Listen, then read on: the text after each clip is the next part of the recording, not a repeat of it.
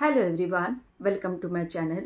Sanatan Dharma को फिर से स्थापित करने के लिए इस पृथ्वी पर, अधर्म को मिटाने के लिए, पाप अत्याचारों से मुक्ति दिलाने के लिए, और हर एक सोल के साथ जस्टिस हो, इसलिए विष्णु भगवान ने कलकी के रूप में धरती पर जन्म लिया।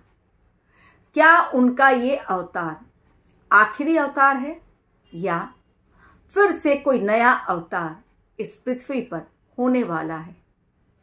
क्योंकि सभी धर्म अपने अपने धार्मिक शब्दों में, हर कोई अलग अलग रूपों में आखिरी अवतार की व्याख्या कर रहा है। कल के अवतार जो कि आ चुके हैं, क्या वही हैं जिनकी व्याख्या सभी धर्म वाले अपने अपने शब्दों में कर रहे हैं। कोई कहता है कि पैगंबर का रीबर्थ होगा। कोई कहता है जीसस क्राइस्ट का रीबर्थ होगा। तो क्या अभी कलयुग में और भी अवतार आने बाकी हैं या कल के अवतार ही कलयुग के अंतिम अवतार हैं? आज इसी बात पर मैं प्रकाश डालूँगी अपने वीडियो में। विष्णु भगवान हमेशा से ही अपने कंधों पर इस सृष्टि को चलाने के लिए ज़िम्मेदारी उन्होंने ले ली है। फ्रॉम स्टार्टिंग टू एंड यानी हर बार उन्हें जन्म लेना पड़ता है। हर बार वो गर्भ से जन्म लेकर ही इस धरती पर आते हैं। तो आप लोगों का ये कहना कि अवतार कभी भी जन्म नहीं लेते, ये गलत है। आपकी समझ होगी, मेरी समझ आपकी समझ से अलग है। माता कौशल्या के यहाँ राम जी ने जन्म लिया, माता देवकी के यहाँ कृष्ण जी ने जन्म लिया। और माता सुमति के यहाँ कलकी ने जन्म लिया। कलयुग में रामकृष्ण परमहंस, वो भक्त उच्च कोटि के माने गए, जिन्होंने माँ काली का दर्शन प्राप्त किया। सिर्फ़ दर्शन ही नहीं प्राप्त किया, बल्कि उनके साथ माँ काली चौबीसों घंटे रहती थी। लोग उन्हें कहते थे कि अपने होशो हवाश में नहीं है। लेकिन एक भक्त की भक्ति सिर्फ़ भक्त ही समझ सकता है या वो जिस देवी देवता को पूजता है, वही वही डिवाइन एनर्जी अपने भक्त के साथ उसकी भक्ति को समझ सकते हैं या समझ सकती हैं। अब चैतन्य महाप्रभु प्रभु जिसे गौरंग के नाम से भी जाना जाता है। जो कृष्ण के बहुत बड़े भक्त, लेकिन साक्षात कृष्ण का अवतार उन्हें भी कहा गया। हर पल, हर समय कृष्ण की, कृष्ण के भाव में ही वो रंगे रहते थे।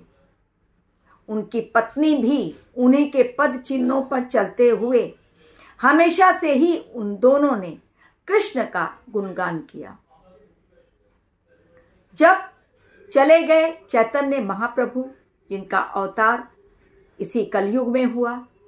उसके बाद एक और बाबा जी के ऊपर मैंने अपना वीडियो बनाया, महाअवतार बाबा जी जो कहा जाता है लगभग पाँच हज़ार वर्षों से ज़िंदा है, यानी कलयुग में उनका भी जन्म। वो भी कृष्ण का अवतार कहे जाते हैं, कि साक्षात कृष्ण उनमें बसते हैं। लोगों ने ऑटोबायोग्राफी लिखी बाबा जी के ऊपर और उन्हें कृष्ण के नाम से ही पुकारा। अब विष्णु भगवान के आखिरी अवतार, कल की अवतार जो इस पृथ्वी पर ऑलरेडी अवतरित हो चुके हैं। अब कुछ लोगों का मानना है कि नहीं आए हैं। कुछ लोग मानते हैं कि आ गए हैं। ये अपने अपने विश्वास के ऊपर है। आपके ज्ञान के ऊपर है। किसी के ऊपर, किसी के ज्ञान को ज़बरदस्ती नहीं थोपा जा सकता। जो जिसमें चाहे विश्वास करे। मानो तो देव, ना मानो तो पत्थर। कलयुग में वैसे भी किसी को अच्छी बात समझाना बहुत मुश्किल है। लोग बुरी बातों पर जल्दी जल्दी यकीन कर लेते हैं। तो कल की अवतार ही वो आखिरी अवतार हैं, जिन्हें आप कह लीजिए जीसस क्राइस्ट का रिबर्थ, या कह लीजिए पैगंबर मोहम्मद का रिबर्थ, लेकिन है तो वो विष्णु भगवान के आखिरी अवतार, और एक ही धर्म को वो स्थापित करेंगे, और वो है सनातन धर्म। एंड ऑफ़ द कलयुग, घोर कलयुग चल रहा है। जब कलयुग खत्म होगा महाविनाश महाप्रलय के बाद, सिर्फ़ और सिर्फ़ सनातन धर्म की स्थापना ही इस पृथ्वी पर होगी, क्योंकि यह धर्म इंसानियत का धर्म सिखलाता है। कल की अवतार हिंदू, मुस्लिम, सिख, ईसाई बिल्कुल नहीं देखेंगे, कोई बंटवारा नहीं। हर एक सोल के साथ उनका इक्वल बिहेवियर रहेगा। जिस सोल ने जैसा कर्म किया, उसके अकॉर्डिंग ही उसकी जस्टिस निर्धारित की जाएगी कल की अवतार के द्वारा। भले कोई उनकी पूजा करे या ना करे, इससे उन्हें कोई फ़र्क नहीं पड़ता। ऐसा नहीं है कि जो हिंदू हैं, उनकी पूजा पाठ से खुश होकर उनको वो स्पेशल कोई रिवॉर्ड दे देंगे। और जो मुस्लिम हैं, जो सिख हैं या जो ईसाई हैं, जो नहीं मानते कि कल की अवतार का जन्म हुआ है तो उनके साथ कुछ अन्याय करेंगे वो, ऐसा बिल्कुल नहीं है। कलयुग का जो भी आखिरी अवतार होना था, वो हो चुका है। पुराणों में यही कहा गया है और यही सत्य है। जिनकी आँखें देख चुकी हैं, जिनकी आँखों को दर्शन मिल चुका है उन्होंने ये बात पब्लिकली आके भले नहीं कही, अपना चेहरा नहीं दिखाया, लेकिन किसी न किसी के माध्यम से ये बात लोगों तक पहुंचाई कि एक बहुत ही भक्ति रूपी साधारण परिवार में, साधारण ढंग से रहने वाले कल की अवतार जन्म ले चुके हैं। पब्लिकली कभी भी वो नहीं कहेंगे कि आई एम कल की अवतार। मैं सभी को न्याय देने के लिए आया हूँ। लेकिन कई ऐसे लोग होंगे अलग अलग धर्मों से जो ये नहीं मानेंगे कि वास्तव में आखिरी अवतार कल की अवतार हैं।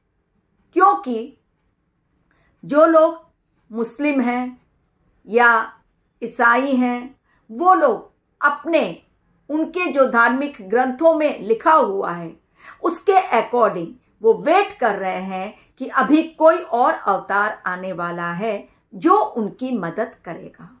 ऐसा बिल्कुल नहीं है।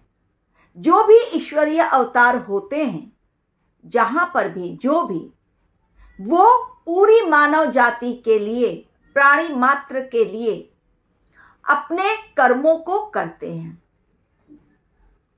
मानव, उनकी भलाई के हेतु उन्हें जन्म लेना पड़ता है और जन्म लेकर वो पूरी पृथ्वी को बचाते हैं अन्याय के अंधकार से और प्रकाशित करते हैं सत्य के प्रकाश से।